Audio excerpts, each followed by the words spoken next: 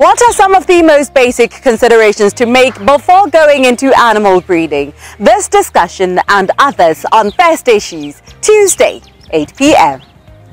This program is brought to you in association with First National Bank of Botswana. FNB, how can we help you?